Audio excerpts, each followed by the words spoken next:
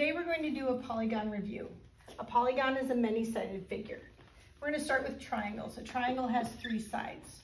And we can name our triangles according to their sides and their angles. If we have the sides, we're going to start with three equal sides, which is called an equilateral triangle. An equilateral, equilateral triangle has three equal or congruent sides. Our next one is the isosceles triangle. An isosceles triangle has two equal or congruent sides. And our last one is the scalene triangle that has zero congruent sides. So an equilateral triangle has three equal sides. An isosceles triangle has two equal sides. And a scalene triangle won't have any sides that are the same. So these three are your choices when you're talking about a triangle's sides. We can also talk about a triangle in terms of its angles. So we're going to start with acute. An acute triangle has three acute angles. All the angles are going to be acute angles. The next one is going to be a right triangle. A right triangle will have one right angle. And the last one is an obtuse triangle. It has one obtuse angle, which we know is bigger than 90 degrees. Our right triangle had one right angle or a 90 degree angle, and our acute triangle had three angles that were all acute. Now we're going to talk about quadrilaterals.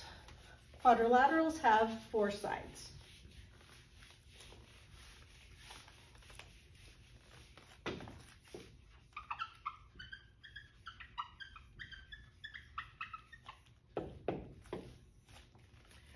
First quadrilateral is a parallelogram. A parallelogram has opposite sides that are parallel. Those are parallel, and those opposite sides are parallel. Many different shapes can be parallelograms. This is a parallelogram. A square is a parallelogram. Rectangle is a parallelogram.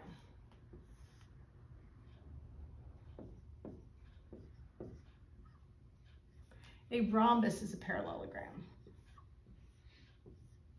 All of them have opposite sides that are parallel, parallel, parallel, which makes them all parallelograms. But this one is specifically a parallelogram. Our next shape is a rhombus. A rhombus is a four-sided figure. It has four equal sides, but it does not have angles that are 90 degrees. So it's like a square that got squashed. The next one is a rectangle. A rectangle, once again, it's a parallelogram.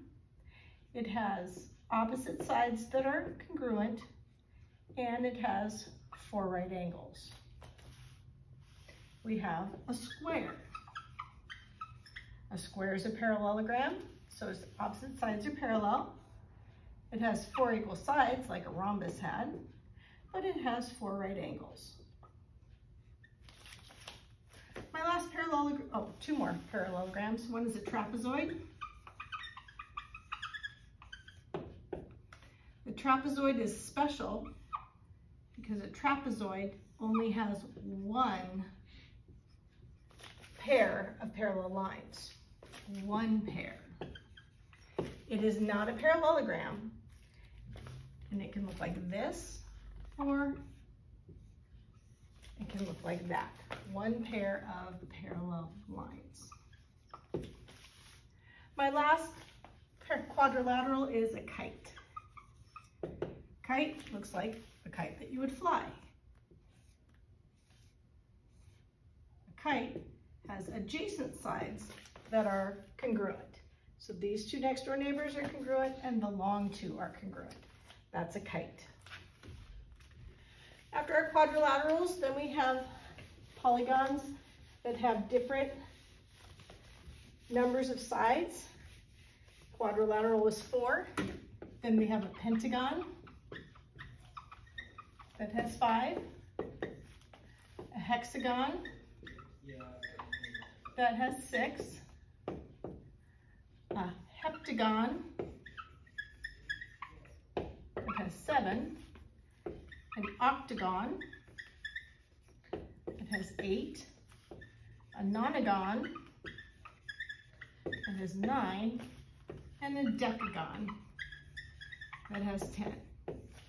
Now some of these have little, um, have words that you might see before like pentagon, the building in Washington DC has five sides, or um, if you, a pen, um, pentathlon has five events, a hexagon, hexagon, um, X, six both have X's, that's how you remember a hexagon, heptagon, octagon like an octopus, eight, nonagon doesn't have anything other than N and N, nine, and a decagon, like a decade is 10 years, or a decathlon is 10 events. So those are some ways to remember. The last thing you want to think of is a regular polygon. And a regular polygon means all sides are congruent and all angles are congruent. And there were two regular polygons in what we've just looked at. One of ours was the equilateral triangle. And the other one was the square. Any of these can also be regular polygons, regular shapes, if they have the same angles and the same measures all the way around.